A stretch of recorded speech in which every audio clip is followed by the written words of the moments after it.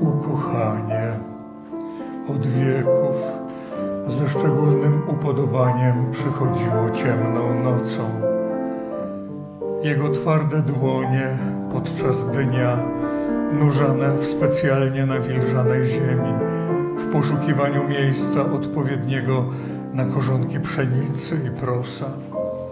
Później oblizywane przez spragnione, a pogodnie brykające jagnięta, teraz odpoczywały na jej delikatnie puszystych piersiach, nasączonych tkliwie i słonecznie, niby dojrzały owoc granatu, z którego wysupła on ziarenka ożywczym sokiem spływające, kropelka po kropelce po jej tak przychylnym łonie.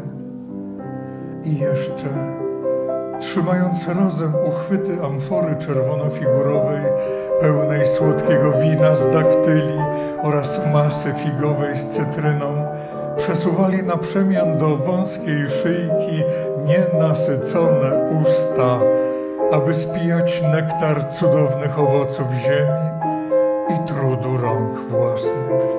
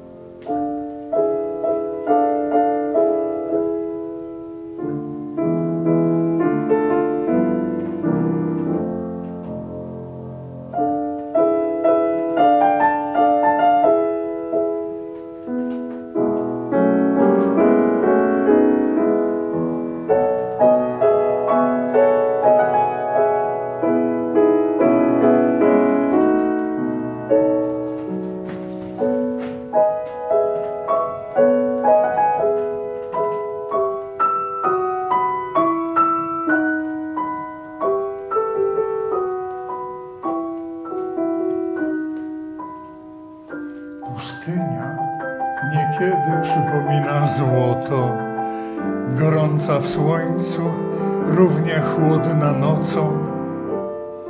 Nucąc podług melodii zasłyszanej w teatrze, rzucił okiem na coraz wyżej unoszone mury świątyni.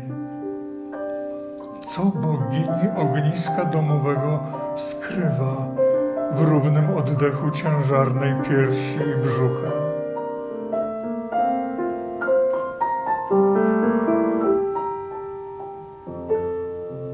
Syna, który podejmie pług i miecz, córkę, która będzie radością jego zmierzchów.